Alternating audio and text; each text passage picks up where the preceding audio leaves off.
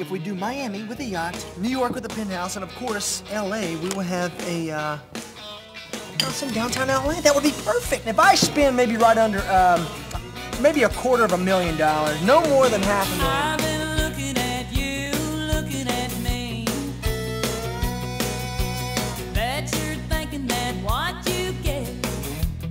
what you say